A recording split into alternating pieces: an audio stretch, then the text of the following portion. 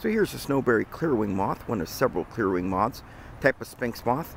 Um, you can see that they are mimics of both bumblebees and hummingbirds. Sometimes you just call them hummingbird moths, but there's uh, several different kinds. Uh, this particular one is feeding on New York ironweed. They beat their wings super, super fast. Uh, you can usually tell them if you get a good look by the dark legs and the face stripe. Um, but again, a wonderful, uh, neat pollinator. While most moths fly at night, this particular one flies during the day. And as you can see, it is feasting here on, uh, on this New York ironweed. And it's being very, very tolerant of me and letting me get pretty close by to it.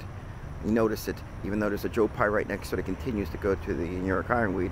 That's because it's received uh, reward from there, and of course, it knows exactly what uh, where to go. This benefits uh, this benefits both pollinator and uh, and the uh, and the plant because, of course, it doesn't help if the New York ironweed pollen goes to the to the Joe Pye weed right above it it has to go to more New York ironweed, and so it'll skip over, as you see, and go right to New York ironweed, which of course is very beneficial type of thing for pollinators and for the, uh, the plant itself, that it doesn't waste time and, uh, and go get the pollen to the wrong source.